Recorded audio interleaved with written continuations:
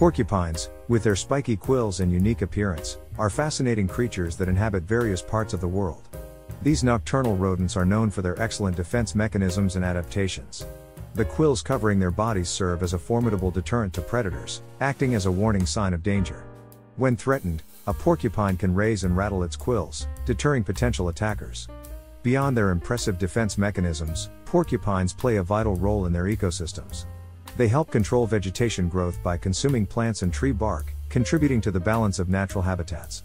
Porcupines remind us of the diverse and intriguing creatures that exist in our world, showcasing the wonders of adaptation and survival in the animal kingdom. Thanks for watching and check out our links in the description.